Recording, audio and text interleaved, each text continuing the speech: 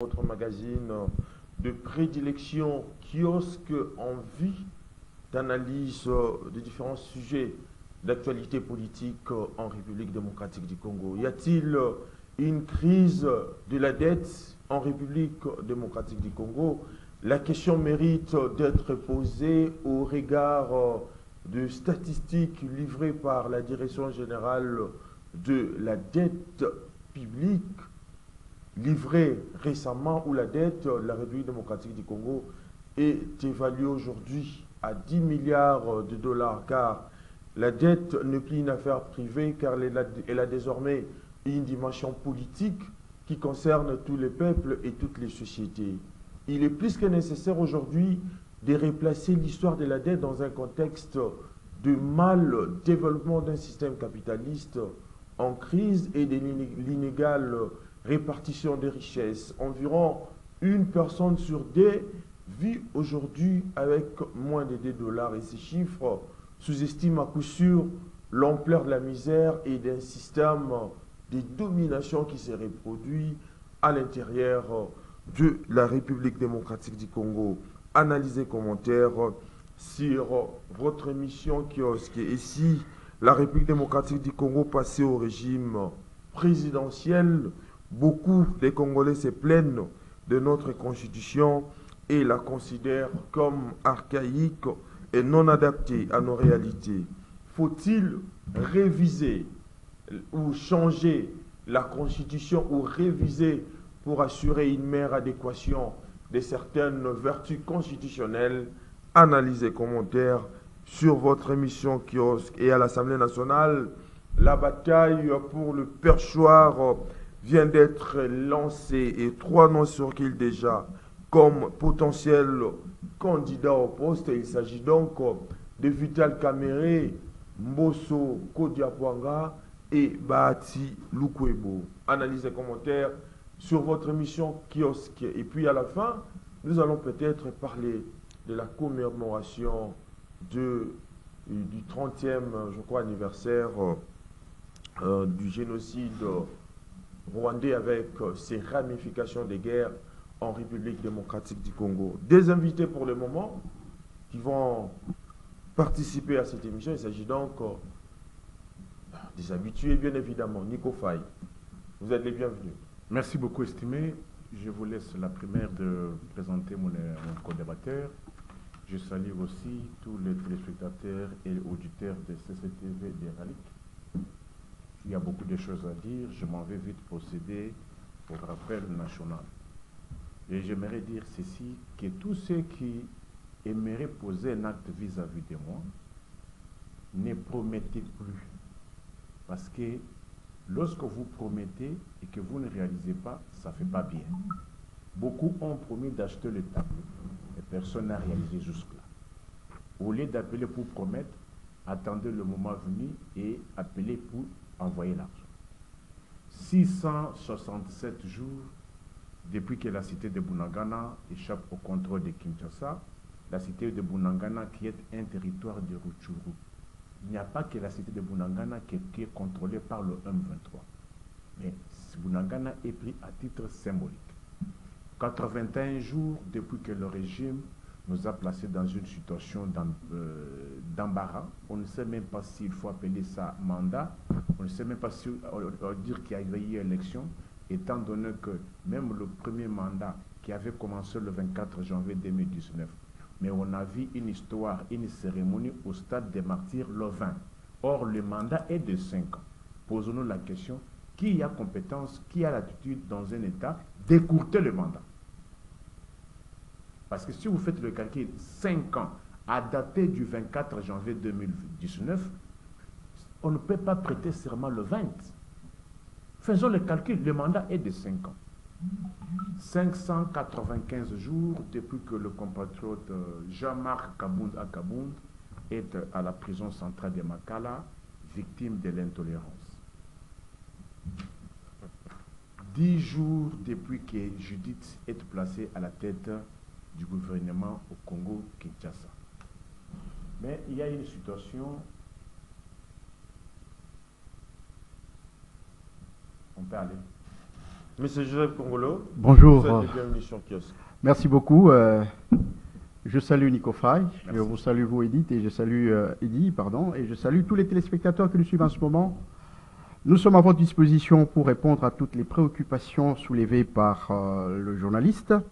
Mais je voudrais juste une petite parenthèse, euh, inhabituelle bien sûr, souhaiter euh, bon anniversaire à mon épouse, Adèle Moulanga. euh, C'est le 11 avril aujourd'hui. Oui. Je voudrais lui souhaiter bonheur, prospérité, joie et santé pour le reste de temps que Dieu a prévu pour lui sur la terre et très particulièrement aussi du bonheur avec notre équipe qui constitue ma famille. Voilà. Donc, euh, je suis très content pour les thèmes que vous avez soulevés tout à l'heure Oui. parce que euh, vous allez nous donner assez de temps pour éclairer l'opinion sur ces thèmes. Ce sont des choses très importantes que beaucoup de gens, même des diplômés, des licenciés en géographie, en géologie, en mine et même en droit, en sciences politiques, parfois ne maîtrisent pas. Donc, nous allons essayer d'apporter quelques éléments là-dessus pour euh, éclairer un tout petit peu la lanterne de l'opinion. Très bien. Je commence par vous, Monsieur Joseph Congolo. La dette, hein, la dette de la République démocratique du Congo, une dette, c'est l'engagement d'un débiteur envers un créancier. En principe, le débiteur est celui-là qui accepte de contracter une dette et qui en bénéficie. Mais dans les contextes du système monde, comme je l'ai dit, la dette n'est plus une affaire privée. Elle a désormais une dimension politique qui concerne tous les peuples et toutes les sociétés. Mais l'endettement de la République démocratique du Congo aujourd'hui devient insupportable dans la mesure où les remboursements et les paiements d'intérêts exigés par les créanciers sont hors d'atteinte et cela empêche euh, toute forme de développement. Votre analyse? D'abord, vous avez fait euh, une bonne rhétorique au début, mais je voudrais vous dire tout de suite que c'est une très fausse rhétorique. Nous sommes la République démocratique du Congo, Oui. un pays qui n'a que 10 milliards de dollars de dette. C'est un pays largement sous-endetté. Largement sous-endetté. Qu'on ne vous trompe pas. Est-ce que vous avez pris soin de recourir un tout petit peu sur des États africains? Je ne voudrais pas parler des États-Unis, de la Chine ou des- de, de la France. Quand vous entendez la dette de la France ou des États-Unis envers la Chine tout simplement, eh bien ça va vous craquer la tête. Mais, il faut Mais tirer- je vous ai parlé, attention, attention, attention, je reviens, je reviens, je Oui. reviens. Il faut voir les dettes d'autres pays africains pour comprendre que si vous prenez le Nigeria, vous prenez euh, le Gabon, vous allez constater effectivement que la République démocratique du Congo, de par sa- ses potentialités, Oui. de par son, son budget annuel, n'est-ce pas 10 milliards de dollars, avec les, les défis que nous avons au développement, 10 milliards de dollars, c'est largement insuffisant, mon cher ami. Par contre, vous savez que quand Mobutu est parti, nous a laissé une dette de 13 milliards de dollars. Quelle était, la- la hauteur de notre budget en ce moment-là? Quelle était la hauteur de notre budget? Quelle était la capacité de production que nous avions? Mon cher ami, je crois que dans la gestion d'un État, aujourd'hui, dans les circonstances actuelles et modernes, 10 milliards de dollars pour un pays comme la République démocratique du Congo, c'est un pays largement endetté. Par contre, par contre, ce que nous devions faire, c'est d'être capable d'assurer une gouvernance, n'est-ce pas Une bonne gouvernance de la dette, afin qu'elle arrive, n'est-ce pas, à travailler pour l'intérêt général. Mais- C'est ça, le défi se trouve au niveau de la gouvernance. Joseph Congolo, il y a, je crois, un spécialiste en matière de la dette, hein, Oui. Alexandre Saké, qui a dit que lorsqu'un régime despotique contracte une dette, cette dette est une dette des régimes et ça tombe au même moment que les régimes tombent. Mais comment expliquer une dette contractée à l'époque du maréchal d'être euh, également continuer à être payée jusqu'au jusqu'à l'actuel régime? Je n'ai pas dit ça. cette dette, si cette, cette dette D'abord, je n'ai pas dit ça. a servi, Je n'ai pas dit ça. mais vous avez donné un J'ai fait une comparaison. Oui. Je n'ai pas dit que la dette de Mobutu continue à être payée. Je n'ai pas dit ça. Je vous ai Mais dit, j'ai fait une ça la comparaison. réalité, en fait. Non, non, non, non. J'ai fait une comparaison Oui. entre la dette de 10 milliards d'aujourd'hui Oui. et la dette du temps de Mobutu qui était élevée à 13 milliards. OK? Qui a été finalement apurée par euh, Mouzito dans, le programme avec, euh, avec, euh, avec la Banque mondiale, n'est-ce pas? Oui. nous, nous sommes restés, de cette- toute cette dette, nous sommes restés avec 3 milliards de 3 dollars, je crois, environ 3 milliards de dollars. OK? Donc, si, si- si nous pouvons bien voir, nous n'avons pris que 7 milliards. Maintenant, nous devons voir quelle est la conséquence sur le terrain de toute cette dette. C'est là, c'est pourquoi je vous dis que le véritable enjeu Oui. se trouve au niveau de la gouvernance de cette dette. Ça, c'est un. Deuxièmement, quand vous parlez, vous avez cité un auteur que moi je ne connais pas personnellement, mais quel est, quel est ce régime despotique? C'est le nôtre? Ah non, donc ça n'a pas, pas de rapport. Nous ne sommes pas dans un régime despotique. Ça, je vous le dis. Nous sommes dans un régime despotique. Donc ce que vous avez donné, C'est juste un Ça- parallélisme. oui, euh, malheureusement, euh, c'est le parallélisme euh, extrême, parce que nous ne sommes pas dans un régime despotique. Je vous dis que les efforts qui sont en train d'être faits en République démocratique du Congo, particulièrement sur le régime de Félix, c'est vrai, les, les erreurs ne manquent pas, mais nous sommes sur la bonne voie. Peut-être vous ne comprenez pas les choses comment il se passe. Vous, vous êtes des journalistes, vous êtes mieux placés pour faire des investigations là-dessus. Moi, je suis, euh, je- je suis en contact avec beaucoup de gens. Oui. Je suis en contact avec, bon, euh, pas directement, n'est-ce pas De manière un peu indirecte, avec d'autres députés, députés de l'Union européenne, de- députés du, Canada, ainsi de suite, tout ça. Vous comprenez? Ce que représente la République démocratique du Congo aujourd'hui, ce n'est pas ce que la plupart des gens vous racontent au micro. Ce n'est pas ce qu'ils racontent au micro. Les gens ont choisi de ne raconter que ce qui ne marche pas. Oui. Ils ne vous parlent pas de ce qui marche. Non. Non, un État ne fonctionne pas comme ça. Il y a des erreurs, il y a des erreurs qui Oui. peuvent être commises, effectivement, mais le Congo d'hier, ce n'est pas le Congo d'aujourd'hui. Le Congo d'aujourd'hui, c'est un Congo qui tend vers l'émergence. Et je suis très sûr que si le rythme est maintenu, avec la pression des, des médias, la pression de la société civile, comme notre ami euh, Nico Faye. notre ami Faye avec ses papiers qu'il est en train de faire, c'est une pression qu'il est en train d'exercer sur les institutions. Et je pense que si cela est maintenu dans le rythme, à moins que demain il ne traverse pas pour aller voir euh, l'AFC, mais s'il continue à faire pression en tant que société civile, en tant que, en tant que parti politique ou quoi, je crois que ça va contribuer à améliorer la gouvernance. Et demain, je suis très sûr, dans les 10-15 ans, dans les 10-20 ans, la République démocratique du Congo peut devenir un pays émergent. Très bien. Nico Faye, je reviens à vous. L'endettement n'est pas forcément mauvais. hein. S'il faut également émettre dans une même longueur d'onde avec euh, M. Joseph Congoyo, le Congolo.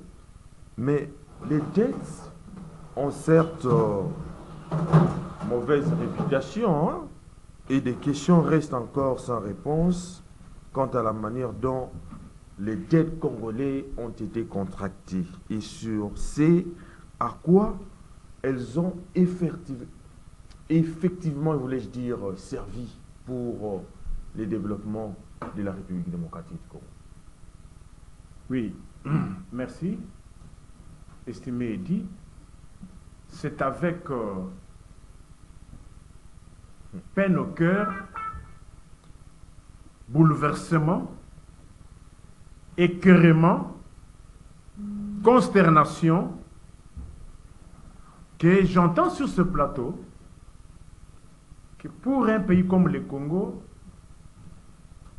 qui marque le pas, 10 milliards CP. Papa, toi tu vis où? José l'a vu où? Vous vivez au, au Zaïre, Kinshasa ici, ou, bien vous vivez en, en Nor- en Norvège? La première des questions que vous, on doit vous poser, à quoi a servi cet argent? Et voilà la malhonnêteté scientifique. Au lieu de dire que Kabila avait payé 10 la dette, vous dites que avait payé. Est-ce que Mouzito peut payer si le président de la République n'a pas donné son impetus? La dette n'était pas payée, messieurs. Ah. Il y avait un programme avec le FMI qui a annulé la dette, qui a annulé la dette. Écoutez, Et attention, attention, Ça, attention. C'est une émission pédagogique. Oui, mais je n'ai pas dit Je payer. vous ai laissé raconter ce que vous avez pu raconter. C'est un programme. Laissez-moi moi- laissez-moi dispenser de la matière à titre gratos. Mais c'est Joseph Congolo, laissez-lui dispenser de la matière.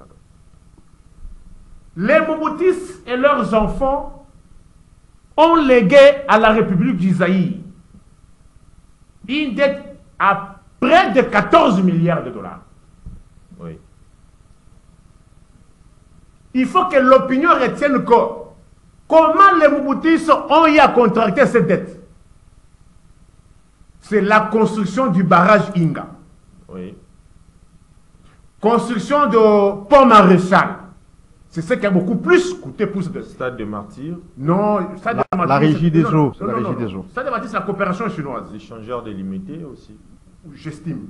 Oui. Alors, Le, le pont maréchal, c'est le Japon, c'est pas le, financement. Pas le financement. Le financement. C'est le magistère qui parle. C'est pour ça qu'il est toujours élégant. Parce qu'il a la bonne information. Et cette dette que les Congolais retiennent que n'atteignait même pas 4 milliards de dollars. Mobutu n'avait pas contracté 14 milliards en liquide. Le total faisait plus ou moins 3 milliards quelques. te le fait de n'avoir pas payé il faut que l'opinion retienne que la banque mondiale et le FMI ce sont des banques au même titre que toutes les banques que nous avons ici mais à la différence qu'elles traitent avec les états plus vous ne payez pas plus aussi les intérêts augmentent c'est ainsi que les Mouboutistes qui ont détruit tout ce que les Belges avaient légué, qui se sont endettés, nous ont légué la dette de 14 milliards. Mouzé a dit qu'on aille poser la question à Mobutu. C'était ça la réponse de Mouzé. Parce que moi, je suis une bibliothèque vivante. Je vis de visu. Mouzé, lorsqu'il a posé la question sur la dette de, de- de la, de- de la République démocratique du Congo, il a dit qu'on aille poser la question à Mobutu. Mouzé ne voulait même pas entendre parler de cette dette-là. Peut-être que je comprends l'ami qui a dit que dans un régime despotique, il faut que, que, que l'argent qu'on paye suive celui qui avait contracté. Oui. C'était ça la, réponse de Mouzé. Le visionnaire Kabila qui vient qui dit pourquoi les institutions de Bretton Woods continuent à chercher à avoir une prédominance sur le Congo? C'est parce qu'il y a une dette. Qui paye le plus, paye le moins. Kabila dit, ça coïncide aussi avec euh, le programme PPTE, Pays pauvres très endetté. Oui. C'est ainsi qu'il y a eu des discussions entre les États débiteurs vis-à-vis des créanciers. C'est ainsi que les accords ont été trouvés, que maintenant les élections de Bretton Woods ont plafonné, on dit. On dit, par, je donne un exemple, je dis, celui, alors, celui qui va payer la dette à hauteur de 70%, on va effacer les restes que l'opinion. Ça, c'est scientifique. Pas vos mensonges là, non, non, ça, c'est scientifique. Chuter, chuter. C'est ainsi que Kabila s'est engagé. Il a dit serrons la ceinture. Oui. Pour se débarrasser de ces gens ici, il faut d'abord les désintéresser. Kabila a accepté qu'on paye cet argent, ainsi qu'il y a eu ce qu'on appelait effacement de la dette. Néanmoins, il y a eu quelqu'un qui a payé. Une paye payée, paye effacée. Est-ce que je me suis fait comprendre On a payé. à, à- à- à une hauteur, Oui. après le reste, on a effacé. Mais, mais, mais Nico Faye, Nico Faye, vous avez évoqué, s'il vous plaît, vous avez évoqué un certain nombre de projets réalisés à l'époque du maréchal, notamment les barrages d'Inga et euh, que sais-je encore, mais aussi s'il faut, s'il faut faire également ces parallélismes, aujourd'hui nous avons le centre financier qui également fait partie des projets. Mais Comment nous quittons d'abord la dette? Vous vous emmenez dans l'histoire des centres financiers, une histoire qu'on est allé inaugurer et non estilaté. s'il vous plaît, s'il vous plaît, est-ce que peut-on dire que C'est un cours ce une émission, une émission de l'Union sacrée. On parle, on, on parle de, de dettes, vous commencez à le centre financier, et on va qu'on inaugurer estilaté. Est-ce que, et là, on a estilaté. Et il y a un moment qu'on a stade de ma- stade de Tata Raphaël, qui est une pour Tala na kati ya terrain, on a maille eza na kati. Le moment, C'est une nous, ne parlons de quoi Parlez de la science. Il est sorti du sujet, c'est pour ça que je le remets parce non, que. non, non, non. Mais oui, nous vous parlé de la dette publique aujourd'hui. Oui, La dette publique aujourd'hui il faut que l'opinion... Parce que Joseph a cherché à détourner, à, à, à ne pas à inoculer, à, à perpétrer J'étais- j'étais- les génocides scientifiques. La dette a été payée et ce qui restait, on a effacé. Très bien. Quelqu'un avait payé. Mais aujourd'hui, le régime qui t'en fout ici, ma crainte c'est quoi? Lorsque je l'ai dénoncé, il disait qu'il n'avait rien trouvé. Mais comment quelqu'un, cette dette-là, là où on a atteint 10 milliards, et celui qui avait un budget de 6 milliards, 5 milliards, payer les fonctionnaires et agents de l'État à une dette fixe Mais comment expliquer les longs d'écho faut que l'on mette avec ses prétendus, Ah, avec les prétendus avancés de Joseph et sa, et, et sa bande, on, a, on, on s'est- endetté à 10 milliards. Aujourd'hui, nous sommes les 11. N'oubliez pas les intérêts, c'est pas 10 Nous milliards. sommes les 11 avril. Prétendu 16 milliards. Et la dette qu'ils ont accumulée, mais on est incapable de payer mes fonctionnaires le 15 mars. Bien. Il faut retenir que les Mobutistes et leurs enfants Oui. nous ont retourné à l'ancien système de Mobutistes qu'on ne payait pas encore les fonctionnaires de l'État. Monsieur Gandhi, Euh, je suis- vous, avez, vous nous avez euh, pris euh, tantôt. Voici plus de 20 ans que l'on parle aujourd'hui de cette euh, crise de la dette et prétend vouloir aujourd'hui, comme l'a dit euh, Nico Faye, lui apporter remède. Mais les initiatives se succèdent, bien évidemment, mais cette dette n'a cessé d'enfler, notamment pour les cas de la République démocratique du Congo.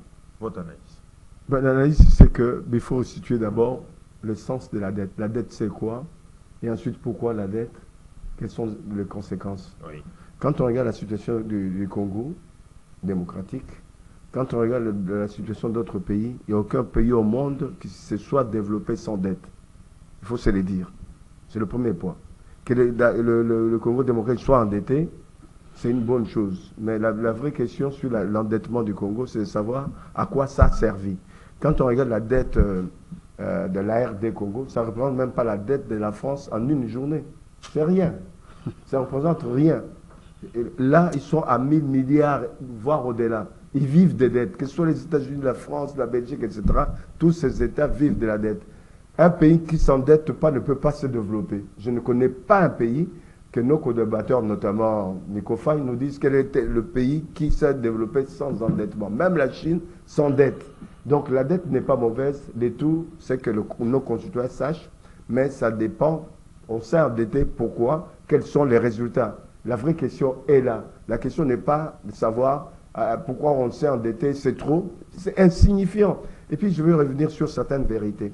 Quand il y a eu euh, ce programme PPTE, Oui. euh, c'était pas suite à ce que nous avons payé une- une partie de la dette. C'est faux. Puisque la dette qu'on avait contractée principalement a augmenté. Pourquoi? Puisque les intérêts que nous avons payés ont même dépassé le montant de la dette. Le problème est là. S'il y a eu euh, réduction de notre dette, puisqu'il n'y a pas eu effacement, contrairement à ce que j'ai entendu parler, il y a eu réduction de notre dette, c'est que ces gens-là, ils ont compris que ce n'est pas la peine de continuer à pouvoir euh, nous soutirer de l'argent dans la mesure où non seulement la dette principale était déjà payée, euh, par le fait que les intérêts ont dépassé même le, le taux de dette que, que nous avions. Et puis en même temps, c'est à, à leur avantage, ça nous a aidés, ça il ne faut pas, ne pas l'accepter, c'est faire en sorte que nous puissions relancer notre économie. Oui. Relancer notre économie, ça profite à qui? Certes aux Congolais, mais ça profite aussi à ces entreprises extérieures, que ce soit la Banque mondiale, la FMI ou d'autres entreprises qui ont contracté euh, des relations Mais, avec mais, nous. mais, mais- mais- mais- Monsieur Gandhi, Oui. la crise euh, de la dette euh, est aujourd'hui de type structurel, alors qu'elle avait été initialement présentée comme euh, une crise de liquidité et non de solvabilité. Non, on ne peut pas dire qu'on vit la crise de la dette. Nous avons une crise économique, socio-économique, oui. Mais on n'a pas une crise de la dette dans ce pays. dix milliards Eh, de avoir- dollars, ah, c'est dis- déjà c'est insignifiant, c'est insignifiant. Voilà. Euh, 10 milliards, c'est insignifiant. Euh, ben, la dette qu'on a contractée auprès de la Banque mondiale ou d'autres euh, entreprises, euh, ça, nous a été, euh, du moins, annulé partiellement à, hauteur de 12 milliards. À l'époque, on avait un budget de combien? Il faut comparer ce qui est comparable. On avait un budget de moins de, de, 2 millions, tout au plus de 2 millions. On est arrivé à, à 4 milliards quand? C'est quand euh, est arrivé au pouvoir en tant que Premier ministre et Matata Pogno. Mais 10 milliards comme dette aujourd'hui pour le, Congo, compte tenu des revenus que nous avons au travers de notre budget, d'abord qui est insignifiant, on peut avoir deux ou trois fois ce budget-là, c'est qu'on n'a pas encore travaillé normalement pour pouvoir augmenter notre budget. On devrait être au-delà de 25 milliards. Les budgets, ne serait-ce que les budgets que nous avons aujourd'hui, 16 milliards, dépassent notre dette. Donc il n'y a pas d'inquiétude à se faire. Il y avait beaucoup d'inquiétude à se faire à l'époque où on avait un budget qui était en dessous de 10 milliards. Donc je ne dis pas qu'on est bien, on est dans une forme olympique. Non, on est loin d'être... C'est-à-dire le budget minimum qu'on devrait avoir aujourd'hui est minimum de 25 milliards. Moi j'ai vu qu'il y, a des équilibres au niveau du temps d'antenne, hein, puisque j'ai pris la parole. vous avez même pas cinq minutes. Vous avez déjà la parole. Non, j'ai pas cinq minutes. C'est un sujet très important, il faut éclairer l'opinion. Avant, avant de, mhm. euh, de, finir, j'ai même pas cinq minutes, alors que mon prédécesseur a eu plus de 10 minutes, puisque vous me parlez de chuter. De, chuter. Moi, je regarde la montre. Donc, euh, vous me faites perdre le fil de, mes idées, et puis euh, je vais parler. Donc, disons que 10 milliards, oui c'est beaucoup. Pourquoi? Puisque nous n'avons pas en face des investissements, puisque une bonne dette, c'est euh, des dettes qui nous permettent d'investir dans le social, dans l'éducatif, dans la santé, au niveau de la sécurité. Oui, si ça a été investi dans ce sens-là, ce n'est pas une mauvaise dette. Si ça a été dilapidé par les uns et les autres, là, ça pose un problème. Très bien. Monsieur Joseph Komolo, j'y reviens à vous, bien que Monsieur Gandhi a dit que l'endettement fait partie des modes de financement d'un État, mais vous ne voyez pas que aussi l'audit de la dette est tellement indispensable, d'autant plus que on doit savoir si cette dette a servi à quoi, parce que l'audit consiste d'abord à faire un examen minutieux du passé, de démêler les chevaux et d'établir des responsabilités. Qu'est-ce que cette dette a fait pour ne serait-ce que l'émergence de la République démocratique du Congo? Quels sont les projets qui ont été réalisés en contactant la, la, dette? Bien, merci beaucoup. D'abord, je crois que tu m'as donné raison. Vous voyez que lui est venu légèrement en retard, M. Gandhi. Je vous dis que la dette, nous ne sommes pas en crise de dette. Enlevez ce concept, nous ne sommes pas en crise. Deuxième chose, 10 milliards pour un pays qui a des réserves de 4 milliards, un budget de, 16, milliards de dollars, ça ne représente rien. Je vous ai dit que l'enjeu se trouve au niveau de la gouvernance de la dette. Mm, ça, on n'y revient pas. Il ne faut pas aller dans les considérations comme euh, mon cher ami euh, Nico euh, écrit, et tout ça. Et pourtant, le creux est totalement vide. Complètement vide. Je crois que les gens doivent comprendre. C'est complètement ce que Nico est en train de dire. Ce n'est pas le fait de crier qu'il a raison, mais il est totalement à côté de ce que nous sommes en train de dire. C'est vrai qu'il a un peu une dimension historique, Mobutu, tout ça, ainsi de suite et tout ça. Ok, je reviens maintenant à la dette. Bien, vous savez que toute dette contractée, c'est une dette liée. La Banque mondiale, le Fonds monétaire international ne vous donne pas de l'argent liquide comme ça sans raison. Il faut élaborer des projets, des projets bancables, acceptables, n'est-ce pas? C'est alors qu'on vous donne l'argent. Donc cet argent, au départ, a été destiné à quelque chose. Soit le financement de l'économie, ça dépend, soit euh, ça peut être des projets, comme vous avez Inga et vous avez d'autres projets, tels que le pont maréchal, ainsi de suite. Donc tout argent est lié, toute dette est liée à un objectif donné. Effectivement, ces éléphants-là, ça, a été ça a été étudié et accepté, et à la fois la banque et aussi par le concepteur qui était la République démocratique du Congo. De la même manière aujourd'hui, tout cet argent que la République démocratique du Congo a eu à prendre auprès des banques, auprès euh, des partenaires privés et, donc euh, bilatéraux et multilatéraux, c'est d'abord ce n'est pas 7 milliards, parce qu'on a trouvé 3 milliards. Hein. On a trouvé 3 milliards quand Félix est arrivé au pouvoir. L'argent contracté, ce n'est pas 7 milliards, en fait. Comme, euh, pour une fois, mon ami a essayé de dire un tout petit peu la, la vérité, c'est-à-dire que l'argent contracté, ce n'est pas 7 milliards. Les 7 milliards, c'est compté avec les intérêts accumulés. Voyez-vous Et plus vous ne payez pas échéance, plus les intérêts augmentent. Vous comprenez C'est ça. Ce qui veut dire, ce qui veut dire, non, non, je te donne raison, ce que tu as dit. Mais ce qui veut dire complètement, c'est quoi? C'est que sur les 7 milliards, nous n'avons pas contracté 7 milliards, c'est peut-être 3, 3, 3, milliards ou 4 milliards, c'est ce que nous avons contracté, et avec les intérêts, ça, euh, ça fait les envols, tout simplement. Mais, je n'ai pas fait des recherches approfondies pour vous dire, telle dette a été affecté à tel projet. Parce que je ne peux pas dire des choses que je ne maîtrise pas. Mais ce que je sais, c'est que les banques, les institutions financières internationales, et même dans les, dans, dans, dans, les, les coopérations bilatérales, toute dette est liée à un projet, à un objectif quelconque. Je n'ai pas fait cette recherche pour vous dire que l'argent servi à ceci, à cela. Mais en fait, ce n'est que 4 milliards de dollars. L'argent a été servi aussi pour soutenir la quantité de l'enseignement. Tout ça, effectivement. Voilà, par exemple, par exemple, par exemple. Donc, ça dit que ça avait des objectifs précis. Et je crois que l'un des objectifs, vous de le dire, il y a des résultats palpables sur le terrain. Voilà. Nico Faye. Je reviens, je, termine pour lui passer la parole. Il, parle, il a parlé de musée. Musée a répondu que cet argent, s'il vous plaît, s'il vous plaît, je suis politologue, je ne peux pas faire passer ça. Quand on accède au pouvoir, il y a le passif et l'actif. Quand Mouzé a dit ça, il a tapé totalement à côté et un homme d'État ne peut pas donner une telle réponse sur les médias. C'est une faute. Nous ne pouvons pas faire l'apologie de la faute politique de quelqu'un, quel que soit son rang. On va faire l'apologie. Parce qu'en fin de compte, on a eu à considérer cette dette et on a eu à la traiter jusqu'au point où nous sommes arrivés. Donc ça, c'était, c'est pas de l'apologie, c'est pas des choses qu'il faut encenser sur le micro. Je crois que c'est une faute grave et il faut, il faut, il faut se retenir sur ce genre de choses. Très bien. Nico Faye, nombre de pays africains hein, avaient dû alors appliquer des terrifiants politiques, des restructurations pour euh, résoudre euh, leurs problèmes de surendettement.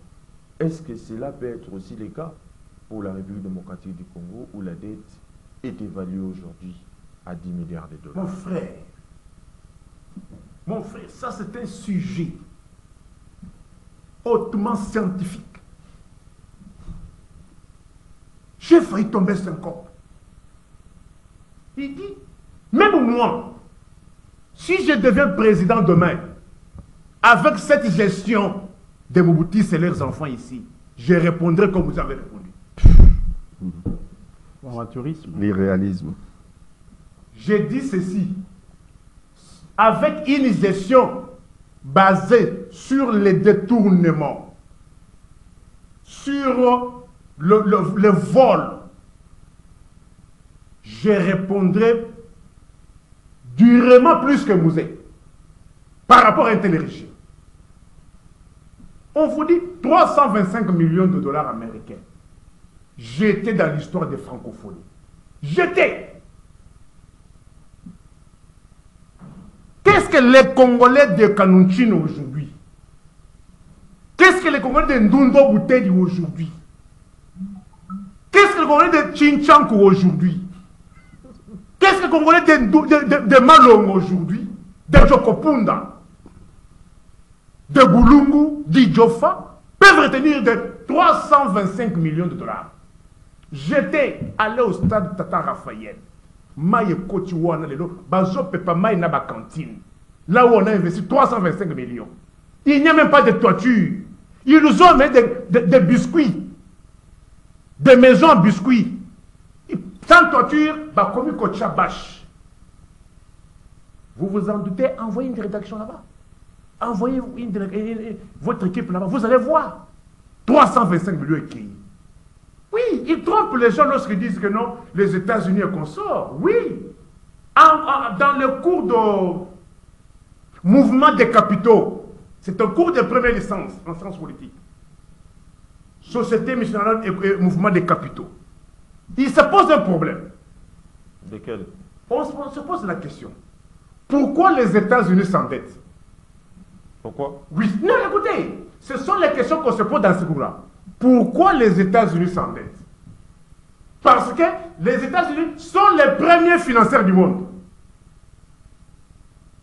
Est-ce que je me fais comprendre? Là, ça c'est purement scientifique. Aujourd'hui, c'est la Chine. Hein. Écoutez, ça c'est vous qui le dites. Ça c'est que l'homme de la rue raconte. Les États-Unis restent les premiers financiers au monde. Restent les premiers financiers au monde. Toutes les institutions c'est Washington qui est le premier. Contredis-moi le contraire. Toutes les institutions internationales, c'est Washington. Mais on se pose la question. Même là-bas, c'est celui qui finance le plus. Et on est arrivé à la conclusion dit le plus grand financier, les plus grands euh, financiers sont les plus grands emprunteurs. Ça, c'est une théorie qui est développée. Oui. Les plus grands prêteurs, non, les plus grands prêteurs sont des plus grands emprunteurs. Faux. Ouais, moi, moi, moi, Vous allez moi, contredire, vous venez, contredire. Oui. Dites-moi, quel est, le, quel, est le, quel est le pays le plus prêteur du monde Chutez, qui dépasse Washington? Chutez. Mais moi, je vous dis, Oui. dans le coup des mouvements des capitaux, on se pose cette question-là. Ceux qui prêtent plus, ce sont eux qui empruntent aussi plus. Mais il y a aussi pose un problème quoi La capacité de remboursement. Washington prête à rembourse. Mais ici, vous avez entendu qu'aux États-Unis, il y a un problème de, de paiement des salaires des agents de, de l'État. Vous avez entendu ça? Que les fonctionnaires ne sont pas payés. Neti lelo awa, les Cambia, sans être commis à 55 jours? Vous appelez ça que dites que non, oh, mon frère, on est où là? Dans un pays lélo, tu sais mon frère, n'a ya comme les commis pas si. Chutez, Nico Voyez-moi ces Chutez. bidons. Lélo, régime où yo d'habiter, yé di biso liba, bah na yombo ya ndengedi. Maï oyo, pour le Kozoka, lélo maï oyo, c'est tout un problème. Les bidons oyo, ya biso ba 1000 francs. Peut-être vous, avec l'argent de Ram, ya maïko, oyo, vous pouvez vous, ah, au moins, vous va zomé là. Mais nous, nous n'avons pas la capacité d'acheter une telle bouteille d'eau. Nous, nous recourons à cette bouteille avec 1000 francs. Quatre personnes peuvent boire toute la journée. Mais Bango Bama, il va besoin de 500 fois 1000 francs, on a. C'est bon. Non, te plaît, mon frère. Il faut que je- que j'explique comment ça se passe. Non, non, vous avez- Parce épuisé ici le mensonge selon lequel, Oui. au Washington, oui, et ont la capacité de prêter et la capacité aussi d'emprunter et de remboursement. Très bien. Mais vous, vous avez quelle capacité? Ouais, ouais, ouais. Mais c'est Gandhi. Non. Mais, c'est Gandhi, s'il vous plaît. En fait, l'importance de ces sujets ne va pas nous permettre d'aborder. Un autre sujet. que non, Qu'on a, qu'on a eu à aborder, qu'on a eu à évoquer au- tout au long de cette émission. Mais c'est Gandhi. On parle tout le temps de la dette, la dette publique, ainsi de suite. Faudra-t-il admettre aujourd'hui que la dette aussi est devenue un instrument de chantage et de domination Votre analyse Ben, oui et non. Oui et non, je voudrais quand même relever quelques équivoques euh, entendus ici ou là, notamment de notre ami Faye. Oui. Il mélange les choses. Qu'on parle des chertés de la vie à Kinshasa, personne ne peut dire le contraire. Que la vie est pénible à Kinshasa aujourd'hui, pe- personne ne peut dire le contraire. On n'est pas là aujourd'hui pour parler de ça. C'est à savoir, ça va très mal au niveau du transport, ça va mal au niveau Il n'y a pas de ça ici. de- non, ça va, mal, ça va mal dans tous les secteurs de la vie socio-économique des Congolais aujourd'hui. Personne n'en dit ce qu'on vient. Mais à, à- dès là, à mélanger les pédales, à mélanger les choses, les gens ne comprendront pas grand-chose. On parle des dettes aujourd'hui. Ils viennent de dire que les prêteurs sont aussi les grands emprunteurs. Quand je prends le cas de la Chine, la Chine a moins de dettes euh, euh, envers l'Occident, alors que le contraire est vrai. Aujourd'hui, l'Amérique doit à la Chine plus de 3 000 milliards. Je dis bien 3 000 milliards auprès de la Chine. Aujourd'hui, la France a plus de 1000 milliards de dettes envers la Chine. C'est ça les chiffres qui, qui qui me donnent les chiffres où la Chine doit à l'Occident, à l'Amérique ou à la France. Aujourd'hui, celui qui tient au niveau des finances, c'est la Chine, sur le plan financier. Sur le plan économique, certes, les États-Unis tiennent encore le pavé, tiennent encore la, la tête au niveau de, économique, etc., au niveau des échanges. Donc, euh, toutefois, ce sont les pays, ce qu'on peut retenir dans cette émission, Oui. puisqu'elle est, elle est réduite, on ne peut pas parler de tout dans les détails, c'est que les plus endettés au monde, ce sont les pays qui ont plus de possibilités, qui créent plus de richesses. Donc, ils ont cette capacité, comme M. Faye avait dit, la capacité de remboursement. Si nous, on peut nous prêter 10, 000, 10 milliards, euh, ben, les 10 milliards, ce n'était pas d'un seul coup, c'est au fur et à mesure. Bonjour, compte, compte tenu de nos capacités euh, de remboursement. Plus on travaillera, plus on développera notre économie, notamment au niveau de l'agriculture, au niveau de la création des petites industries, au niveau de la création des industries de transformation de certaines de nos matières premières. Le Congo démocratique aujourd'hui, s'il transforme ces matières premières ici sur place, Oui. sachez que on peut s'endetter même au-delà de 100 000, euh, 100 000 Milliards. milliards. ouais. mais 100 milliards plutôt, je voulais dire. 100 milliards, voire au-delà, puisque compte tenu de nos réserves en matière première, compte tenu du fait qu'aujourd'hui, on ne transforme pas ces produits, on a moins de capacités. Demain, si on transforme le coltan sur place, si on transforme le cuivre, le cobalt sur place, on aura un budget de plus de 100 milliards. Donc, si on a un budget de plus de 100 milliards, on pourra s'endetter même à, à 1000 milliards et vous verrez dans 5 ans, avec cet argent, on peut développer ce pays. Sauf qu'il y a une certaine léthargie au niveau de nos intellectuels, Oui. euh, nos élites intellectuelles surtout, et nos élites politiques. C'est-à-dire qu'ils passent leur temps sur des futilités au lieu de réfléchir sur le devenir de ce pays, comment développer ce pays, comment redistribuer les richesses de ce pays. On ne discute pas de ces points-là. On ne s'attarde pas sur ça. Si on arrive à développer la petite industrie ou la grande industrie dans ce pays, il y aura beaucoup d'argent. On pourra même euh, financer le chômage des gens. Les gens qui sont au chômage pourront toucher jusqu'à 300, 500 dollars dans ce pays.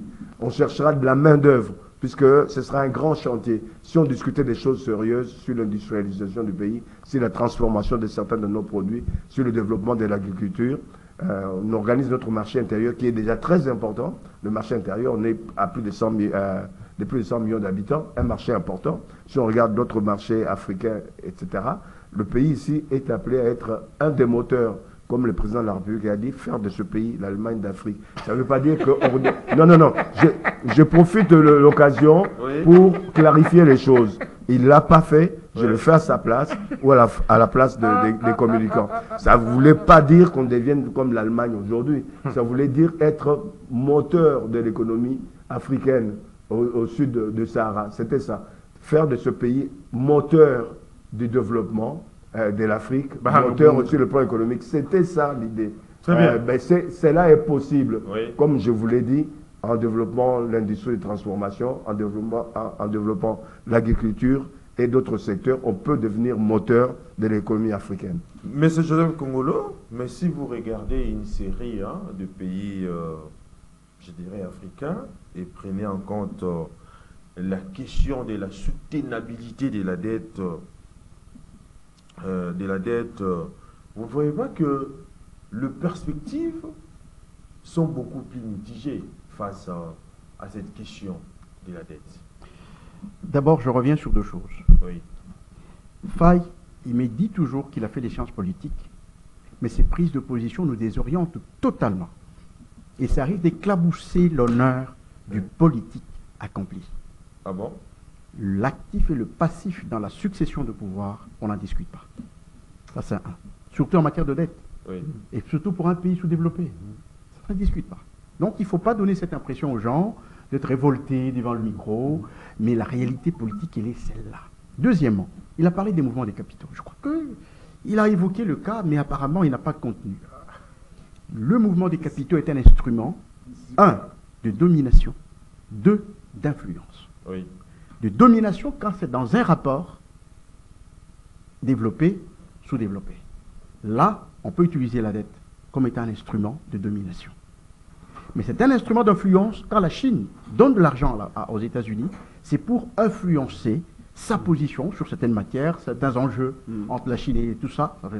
Donc, c'est tout à fait normal que le FMI, à la création du FMI et de, de, de, de, la Banque mondiale, face, n'est-ce pas, aux pays sous-développés, c'était un instrument de domination des puissances. Et ils nous ont tenu nos économies Oui. à partir, n'est-ce pas, de, ce- de ces institutions de Bretton Woods. Là, nous sommes tout à fait d'accord. C'est ça le sens des, des- des mouvements des capitaux. Ces capitaux-là tiennent certains pays comme des esclaves, n'est-ce pas Et ces capitaux peuvent vous influencer. Rappelez-vous, pour euh, LGBT, parfois il y a des dettes maintenant comme ça, on vous donne la dette, mais à condition que vous acceptiez telle loi.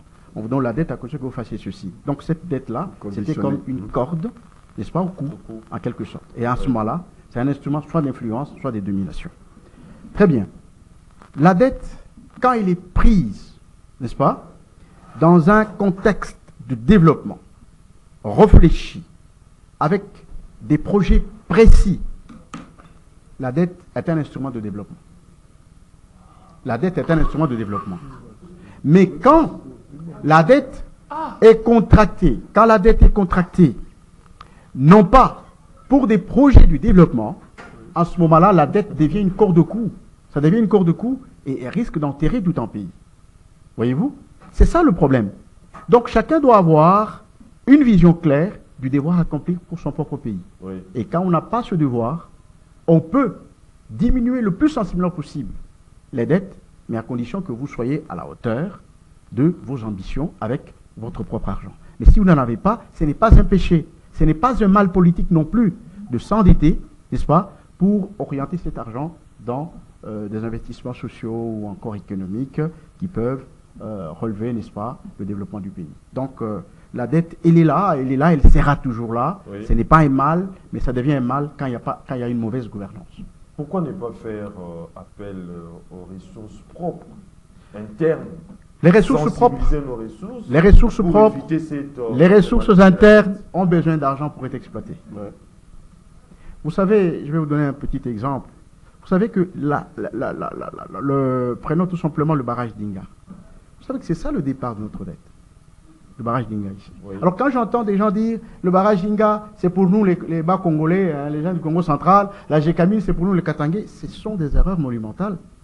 Nous, nous sommes nés avec des dettes de Mais toutes ces là. Nous sommes nés, chaque Congolais a sur sa tête la dette du barrage Inga, la dette de la GKMI, la dette de la régie des eaux, la dette de tout ce que vous voyez, c'est que Mobutu a fait de cet argent. Donc, ce ne sont pas des histoires qu'il faut associer aux provinces. Oh, l'Amiba, c'est pour les Kassaïens. Non. Il faut, il faut que les gens changent de langage. Mais là, vous ne voyez pas que les barrages d'Ilangala dont vous venez d'évoquer, Oui. c'est vraiment- c'était vraiment un projet réalisé, mais mégalomaniaque, parce que cela n'a pas servi pour l'intérêt du peuple.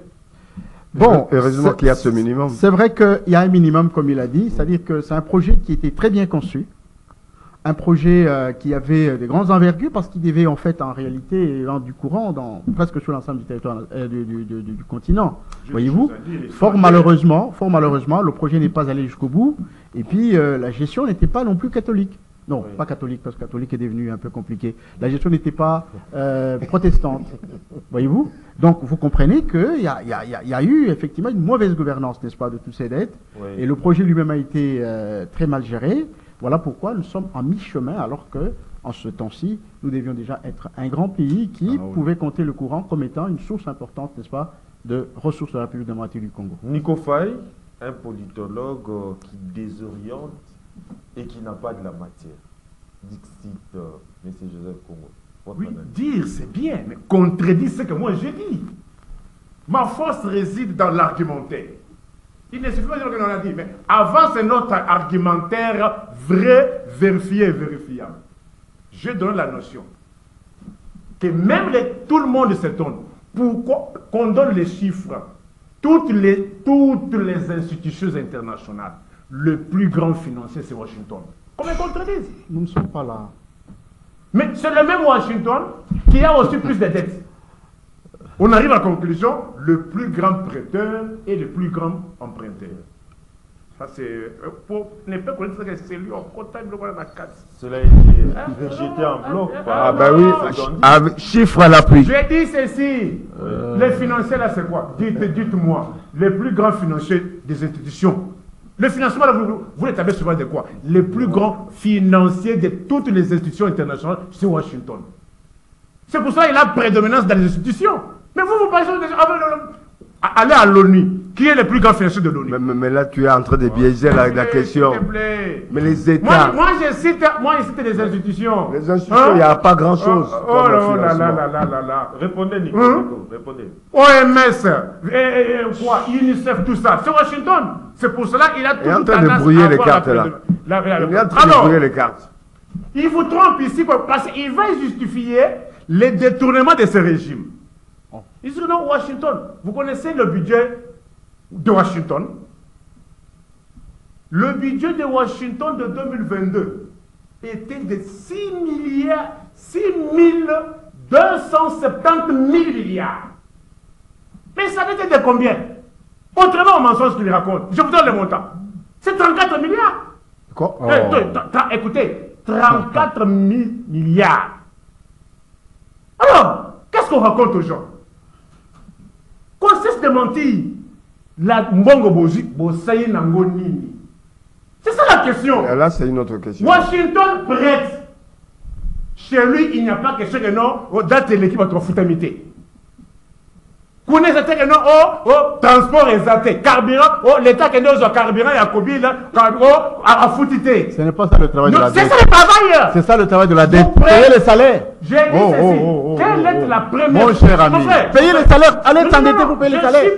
Non, ce n'est pas ça le travail de la dette. J'ai dit ceci. Non, non, Je n'ai non. pas dit que c'est ça le travail. Mais c'est ce que tu es en C'est que tu es en train de dire. On va s'endetter pour lui payer les fonctionnaires. Quelle est cette institution qui va vous donner cet argent Qu'est-ce tu racontes Voilà comment il se trompe. Qu'est-ce qu'il raconte Oui, oui, tu, tu Quelle est cette institution qui va vous donner l'argent pour payer les fonctionnaires.